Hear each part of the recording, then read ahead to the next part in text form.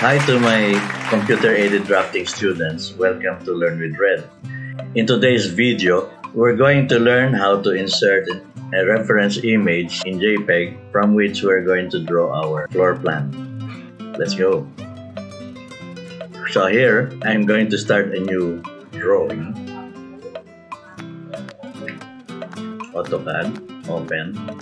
Okay. So and then I'm going to insert, attach from my desktop a file name called uh, floor plan.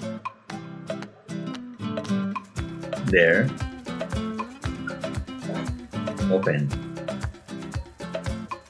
So it says specify on screen and specify on screen for the scale. Just say, just click OK. There. Okay. So that's an image. Okay, since uh, I taught you last time that uh, all, the components we place in our AutoCAD must be on a layer. So for example, this is on layer 0, so I'll make a new layer called image. So I can easily turn it off when I don't need it. There. then I select this layer, go to properties. So, and then uh, there. So it's now an image. Okay, so our instruction was to make a 4 meters 4 meters by 12 meters slot and this is uh, 4 meters okay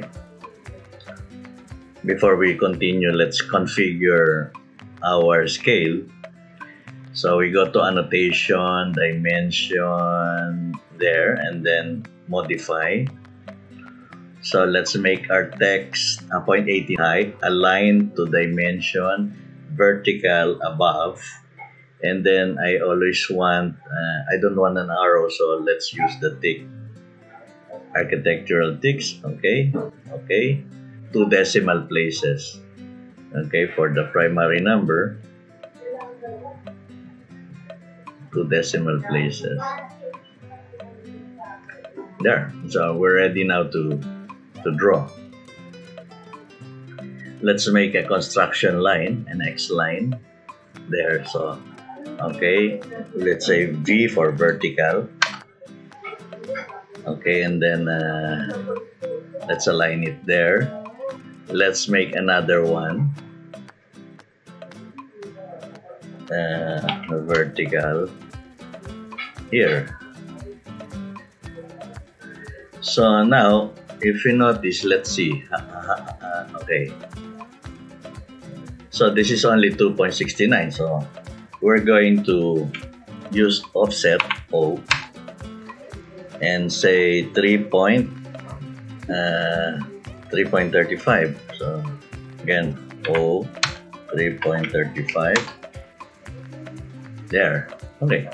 So now we we use the shortcut SC for scale. So let's select this and then say SC.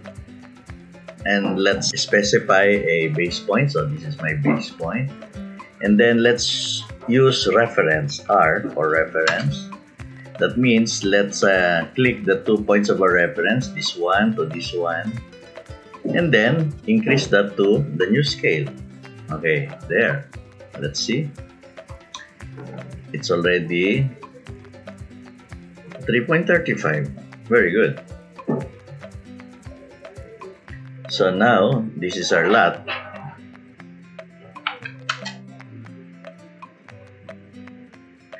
Uh, let's align it to our reference drawing using a horizontal X line here and here.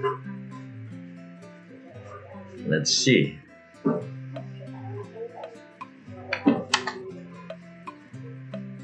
move it here. Very good. Hmm. Of course. Uh, let's see if this line is really 12 meters.